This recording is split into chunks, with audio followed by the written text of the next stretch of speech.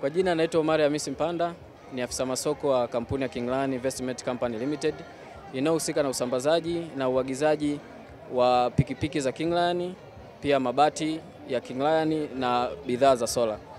Kinglan kwa hapa Mbeya tunapatikana Kabwe, lango la pili pamoja na Uhindini, lakini kwa sasa tuko katika maonyesho ya Nane ya, ya kitaifa kwenye viwanja vya John Makangale ambapo tuko katikati kabisa. Unapoingia katika lango kuu unakuja moja kwa moja, tupo, tupo katikati ya uwanja. Katika viwanja vyetu tumeweza kuletea nani bidhaa zetu zote za pikipiki pamoja na mabati kwa ajili ya wateja wetu kuja kuziona kwa karibu, lakini pia kujifunza na kupata elimu.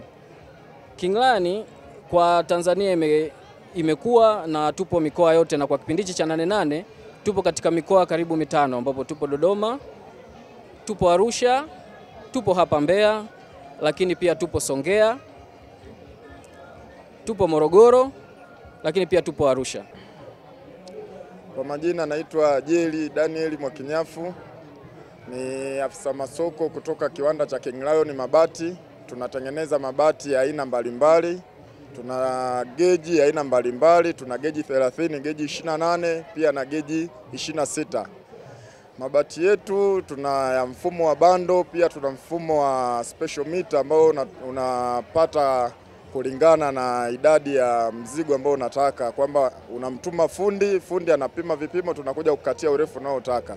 Pia tuna aina pia ya mfumo wa kigae ambao tunaiita Torino na Morano, ambazo tunakata urefu ambao una uhitaji kwa, kwa, kwa, kwa vipimo ambavyo umetuletea na kwa saizi kubwa ambazo wewe unazihitaji.